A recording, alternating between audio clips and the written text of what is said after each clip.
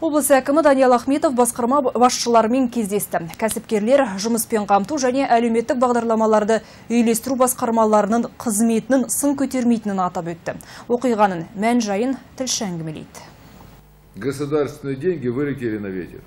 Белгілі болғандай күн батареялары құрылысына үкімет ондаған миллиард теңге бөлген.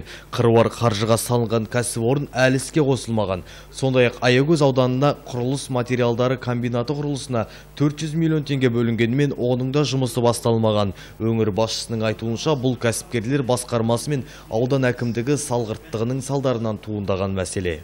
Никто не проанализировал, а какова Кәсіпорынның қаржылай жағдайын ешкімде зерттеген жоқ. Нәтижесін өздеріңіз көріп отырсыздар. Кәсіпорын тұрып қалатын болды.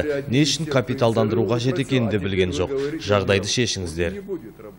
Облыс басшысы Даниал Ахметов Өскемен Семей қалаларының әкімдіктеріне жұмыспен қамту және әлеуметтік бағдарламаларды үйлестіру басқармаларына шара қолдануды тапсырды. Семейде 220 адам тегін білім алған, ал олардың 13-ші ғана жұмысқа орналасыпты. Өскеменде 122 тұрғынның 30 ғана еңбекпен қамтылған. Какой смысл вообще обучать? Бірінші шілдеге қарай 30 мыңға жуық адам жұмыс іздеп келген. Бүгінде олардың 26 мыңы жұмыспен қамтылған. Не выполнили доведенный план охвата. Тарбағатай ауданында 64-тің орнына 37 бүтін оннан бес пайызды көрсетті. Аягөзде де 64 пайыз жоспарлаған едік, тек 40 пайызын орындадық. Жарма ауданы да солай. Тек 37 бүтін оннан бес пайызын іске асырдық.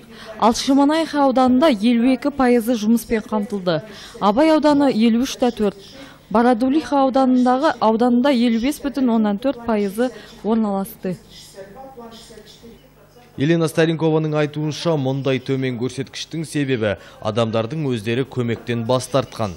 Айта кетейік жиында қытайлық әріптестермен достық қарым-қатынас мәселесі де көтерілді. Арно Шакерханов, Сәуреш Ахметжанова, Ерлан Сарманов, Алтай ақпарат.